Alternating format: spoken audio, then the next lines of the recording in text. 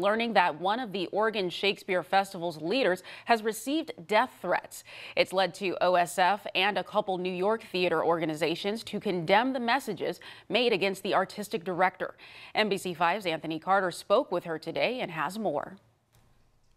Shelly, Nataki Garrett first spoke out about what she calls credible threats to NPR last week. However, she says this won't change her focus on as she continues to keep OSF tradition alive. This is something I've been dealing with for a, quite a few months now. Since taking over in 2019, Oregon Shakespeare Festival artistic director Nataki Garrett has been credited with evolving OSF shows. put the sign on your door, Sandra. But going into the upcoming season, she's opening up about what she calls credible death threats that she's received from the public. It's not something that I ever wanted or thought that I would ever have or need as an artistic director of a theater company.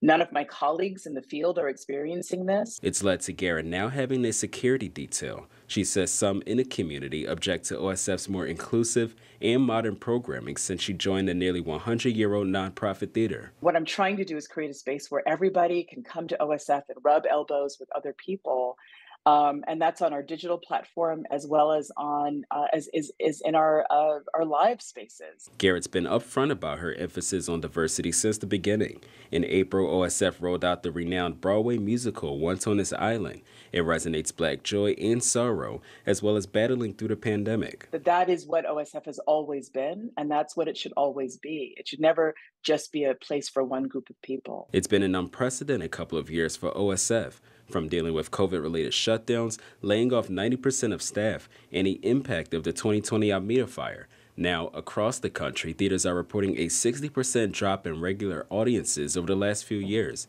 and OSF is feeling that as well.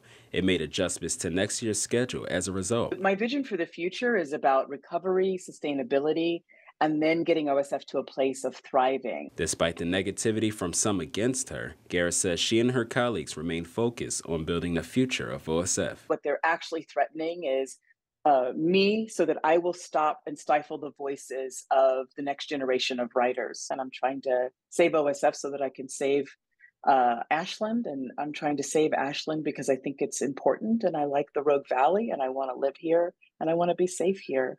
And I want other people to feel safe here as well. Garrett says Ashland police are aware of the threat and are working with her security. Now, we did reach out to APD late tonight with questions. Chief Tighe O'Meara said APD only recently found out about this and is seeking more information to start an investigation.